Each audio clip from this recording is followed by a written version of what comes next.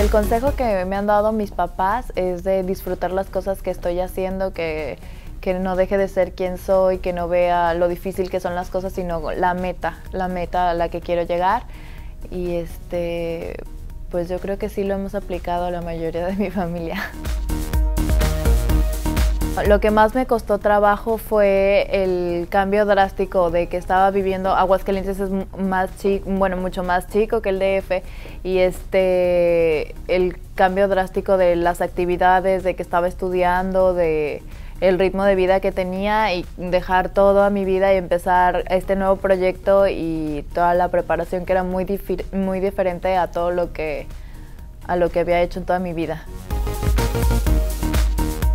Nosotros en Navidad hacemos una cena familiar, bueno, en ambas familias, de parte de mi mamá y de parte de mi papá también. Entonces nos, dividimos y vamos un ratito con los dos para estar también con los tíos y los, los primos de cada familia. Este, en la familia de mi mamá hacemos un video de broma de todos. Entonces juntamos fotos y, y, cosas, de bromas de todo lo que hemos hecho durante todo un año y hacemos como algo cómico o alguna obra de teatro o hay, veces que hasta mi abuelita participa, una vez se disfrazó de diablito, estuvo buenísimo.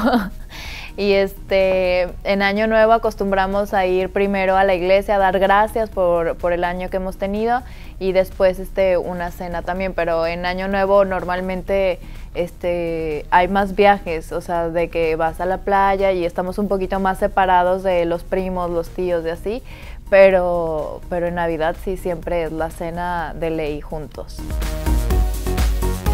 Thank you.